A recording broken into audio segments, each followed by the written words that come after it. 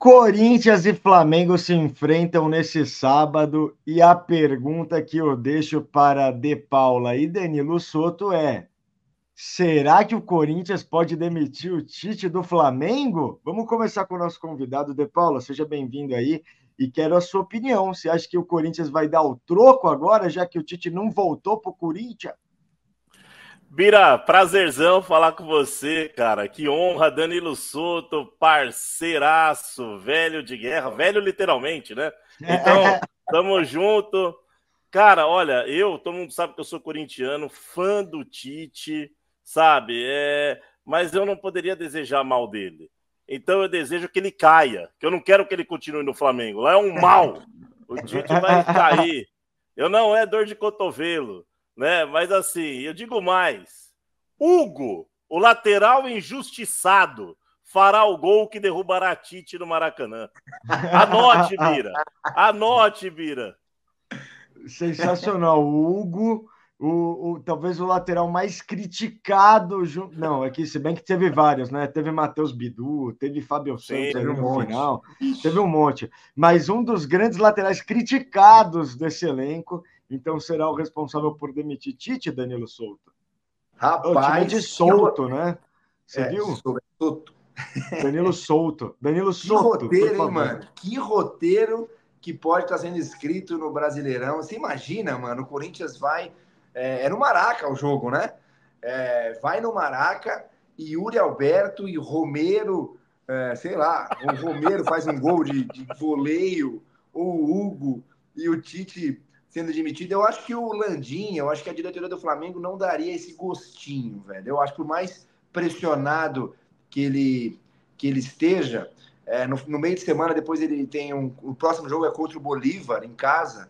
É, é um jogo que o Flamengo, cara, teoricamente deve ganhar. Depois enfrenta um Vasco. Então eu acho que ele ainda vai ganhar algumas oportunidades aí. O que é fato, rapaziada, é que o Tite não tá fazendo um bom trabalho, mano. Quando a gente é, fez o sorteio, quando a gente é, comentou o sorteio da Libertadores, por exemplo, todo mundo falou que o Flamengo ia se classificar invicto né, na Libertadores. Ia ganhar todos os jogos, tanto em casa quanto fora de é casa.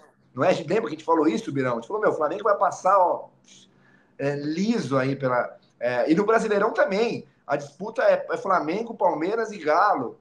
E, cara, do jeito que tá, que tá andando as coisas, o Flamengo é, não sei se ganha título esse ano, cara. Se Danilão, jeito, fala, Danilão e Bira. Danilão e Bira. O torcedor do Flamengo, vamos falar a verdade, pode entrar quem quiser lá, cara. Os caras só é. pensam no Jorge Jesus, cara. Eles só fazem comparações com o Jorge Jesus. Não adianta. Eles são reféns do trabalho maravilhoso que o Jorge Jesus fez, cara. E eles acham que qualquer um que entrar lá agora, por melhor que seja, vai repetir. E o futebol não é essa matemática, cara. Entendeu? Então, Total. Então, assim, não, não é, cara. E o Tite, cá entre nós, tem acompanhado o Tite. Pô, o Tite deu uma frescaiada, hein? Vai na entrevista coletiva, põe o César Sampaio do lado para falar, põe o filho dele, põe o é, massagista. De Paula, mundo. Licença, De Paula, você trouxe um, um bom ponto aí. Eu quero perguntar para vocês: vocês acham que a, a diretoria, a torcida do Flamengo, estão pegando tanto no pé do Tite? Por causa do desempenho, dos resultados, ou por causa dessas entrevistas pré e pós-jogo que realmente estão afastando, eu acho, o Tite do torcedor. Porque aí ele bota lá o, é. o, cara que treina a finalização para falar dos chutes para fora, o cara que treina a defesa para falar da defesa, mas ele mesmo se exime um pouco da culpa, né? É, ele se exime, Birão, além de dar algumas respostas esdrúxulas, né? Além de querer passar um pano, às vezes, para o trabalho dele, para o time dele, que não existe. Falar da bola. A bola, velho. O problema da bola. O problema é o campo. Caramba, pro outro time não é a mesma bola, amigão. Pro outro time é o mesmo campo. Não tem essa. E outra, ele entrou já numa, numa, numa bolha que é a mesma do Carpini. Qualquer coisa que o Carpini falasse nas, nas coletivas do São Paulo pós-jogo, e é, é, já era elevado a um nível muito alto, entendeu? Então agora, o Tite colocar o César Sampaio, colocar o filho dele para falar, vai virar reclamação. Então, a hora dele bater a mão no peito e falar, mano, eu vou falar, deixa que eu falo. E parar com esse negocinho de, de sabe, de querer passar pano, de querer. Cara, assume a responsabilidade. entendeu? É, porque agora a torcida já perdeu a paciência, ele já entrou numa espiral ali que é muito difícil de mudar, a não ser que o Flamengo engate agora cinco vitórias consecutivas, jogando muita bola tal. E tem time para isso. Só que não está não tá acontecendo, né?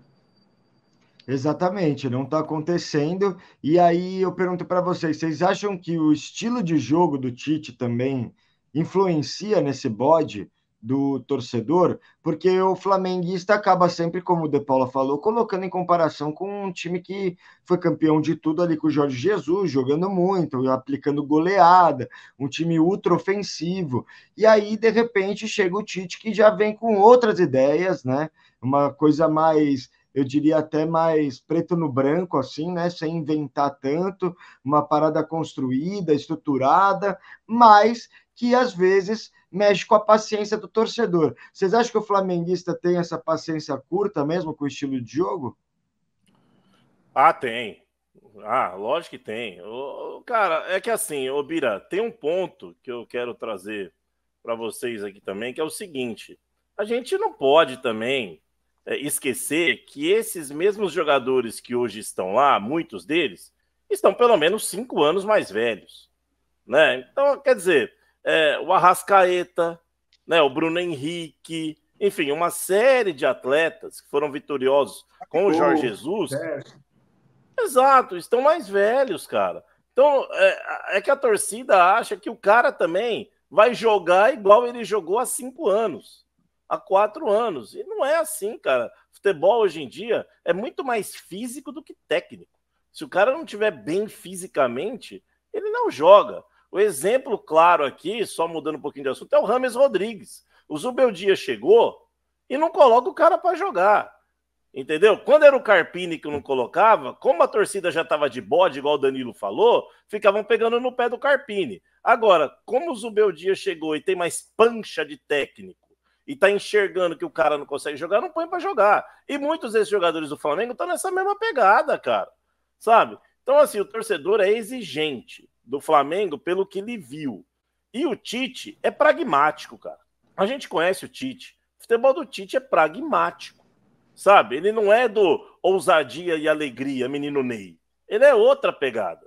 Entendeu? Então, mas ele tem jogadores para fazer o que ele quiser, hein, Bira? Cá entre nós, hein? Total. O, o elenco que ele tem ali, ele pode fazer o que ele quiser. O problema é que não deu liga, aparentemente, cara.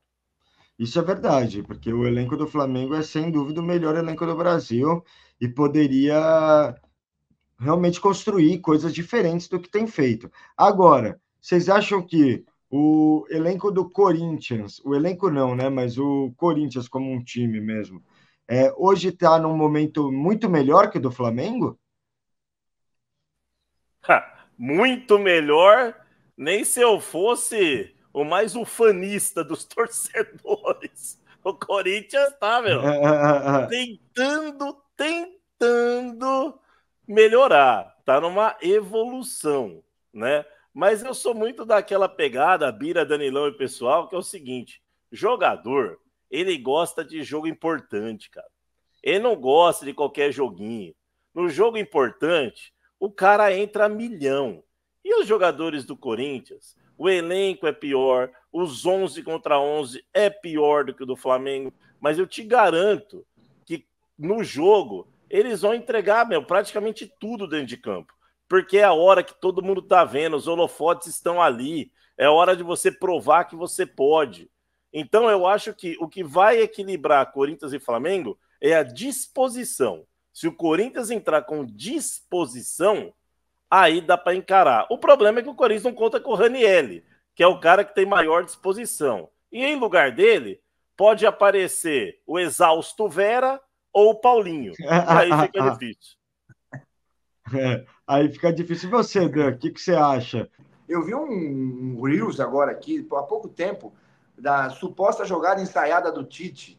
Saída de bola. Eu vi. Joga lá no zagueiro e o zagueiro lança. E não acertaram uma. Eu vi uns 5, 6 lances. Não acertaram uma bola, velho. Mas isso, mas isso é jogada ensaiada? Isso. Rolar a bola pro zagueiro e dar um chute para frente? Exato. Pois é, né? Meu Deus do céu, velho. E aí, ó. Tá bravo mesmo, principalmente por conta do elenco gigantesco que tem. A gente está falando de Flamengo, mas aí eu queria perguntar agora um pouco de Corinthians. Vocês acham que o Antônio Oliveira, mesmo nesse momento conturbado, de bastidor principalmente conturbado, vocês acham que o Antônio Oliveira pegou as rédeas do time e conseguiu colocar num eixo ali que pode ser que tudo bem, o Corinthians às vezes não apresenta o futebol mais bonito, mas consegue competir e ser competitivo? Cara, ele, ele encontrou um time, o Bira, e Danilão e galera, encontrou um time, né? Ele agora tem uma ideia de jogo na cabeça, né? Eu acho que, puxa, grata surpresa o Kaká entrar e jogar muito bem o zagueiro, fazendo é dupla mesmo. com Félix Torres. O Fagner está um doce de pessoa. O Fagner parece que ele está no mosteiro de São Bento. O Fagner é um monge agora né? Ele não leva mais amarelo, sabe? Tem confusão, o Fagner agora aparta brigas. O Fagner é um novo homem. Calma, antes do tanto, jogo, nem tanto também. Antes do jogo, o Fagner no, no, lá no vestiário, ele canta We Are the Road. Ele é outro homem, o Fagner. Então, assim, ele conseguiu fazer com que alguns caras, meu, colocassem a cabeça no lugar, jogassem bola. E o time tá mais competitivo, Bira. Tá mais competitivo mas tem uma oscilação que é natural ainda, né, cara? Total, também acho. Você, Dan? É, eu acho que Ou além ele disso, também... ele encontrou alguns jogadores que estão fazendo a diferença, que estão jogando bem. É o Raniel, é o Garro, é o Wesley, jogadores que estão ajudando ele a, a, conseguir. O próprio Romero, cara, o Romero quando joga vai bem e se entrega e faz. O Yuri Alberto voltou a marcar, voltou a fazer gol. Era um cara que não fazia gol nunca e era muito xingado na arquibancada, cara. Eu tô lá todo jogo, eu tô vendo, os caras xingavam ele. Agora já estão apoiando o Yuri Alberto.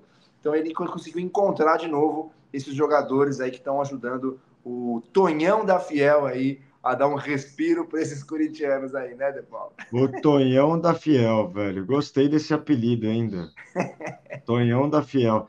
Cara, é, e você falou, né, do Wesley e tal, falou até do Yuri Alberto, mas vale ressaltar que o Yuri Alberto errou aquela cabeçada com, na Sul-Americana e fez um golaço.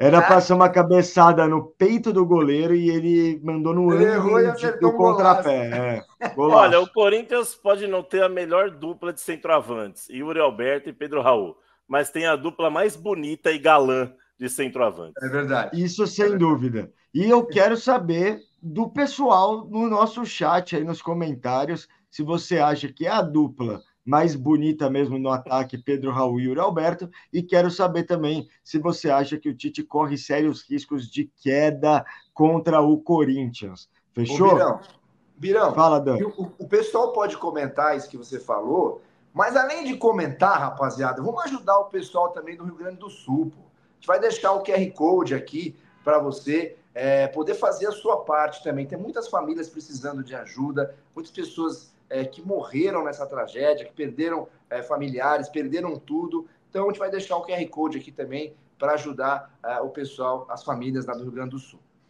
Exatamente. Então faça você sua parte também, ajude, doe aí qualquer doação, qualquer valor, qualquer material que você conseguir é importante nesse momento. Então faça sua parte também é, e entre junto aí nessa causa, que é isso. Toda a nossa solidariedade aqui do Camisa ao pessoal do Rio Grande do Sul. Seguimos aí apoiando e tentando minimizar as consequências desse desastre. Esse foi mais um Camisa Futebol Corte. Valeu demais, De Paula. Tamo junto, prazer imenso te receber aqui. E a gente volta numa próxima quando você menos esperar, hein?